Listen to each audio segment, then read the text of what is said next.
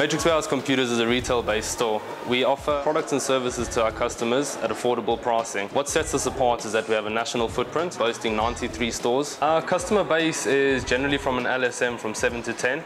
70% uh, of our customer base would be the individual or end user, 30% being corporate uh, and schools as well, we're finding quite big.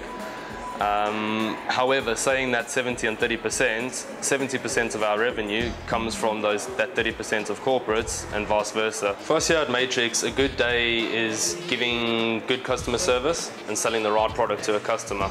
Often we have customers come in and they think they know what they want, but that doesn't necessarily suit their needs. What we've seen in the last year is that vendors are trying to push all-in-one PCs as well as high-end tablets such as your Windows tablets, Intel i5 tablets. We're finding that the people simply cannot afford that. Um, you're looking at 15, 16 grand for a tablet which majority of people don't want to go for, as well as all-in-ones. There wasn't the demand that the suppliers and vendors were hoping for. We get a whole lot of requests here. Some are strange. The, the common ones would be microwaves and fridges. Um, the best one for me, however, was some a customer came in, walked around for about five minutes.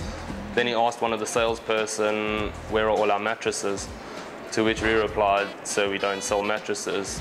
To which he then replied, uh, sorry, but isn't this Mattress Warehouse? Our best-selling category is definitely notebooks. We're finding more, more often now that even businesses, as well as the average consumer, are now moving over to notebooks rather than desktops.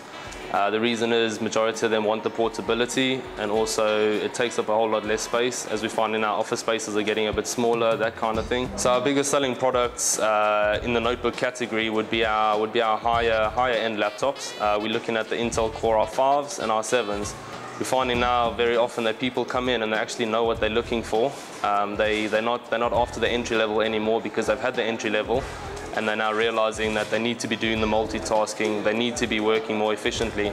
So they are forking out a little bit more and they're going for the higher end laptops. Being in the IT market, we need to stay ahead of technology. Technology is a fast moving market, so we need to do a whole lot of research all the time and stay with the cutting edge stuff customers come in, we need to know what's out. We need to know what the next best thing is. But there's a whole lot of publications online, that kind of thing, which we can keep up to date with.